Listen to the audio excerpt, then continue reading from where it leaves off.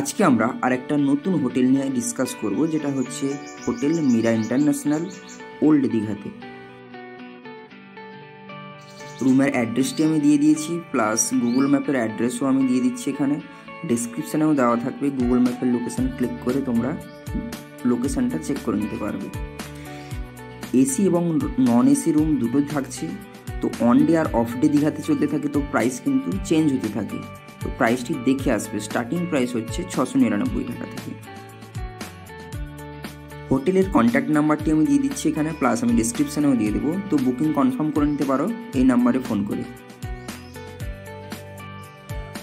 এই হোটেলে কি কি তোমরা সুবিধা পাচ্ছ? ফ্রি ব্রেকফাস্ট দিচ্ছে মানে পেমেন্টের সাথেই কিন্তু এক্সট্রা কোনো চার্জ করছে না।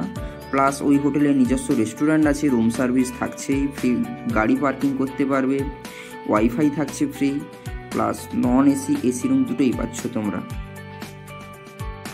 এবার দেখে নেওয়া যাক হোটেল থেকে সমুদ্রটি কত দূরে। তো আমরা কলকাতা থেকে এই লাইনে এসে ওল্ড দীঘার টার্নিংটা নিলেই, ওল্ড দীঘা আর নিউ দীঘার মাঝখানে দেখতে পাচ্ছ এখানে হোটেল মীরা ইন্টারন্যাশনাল।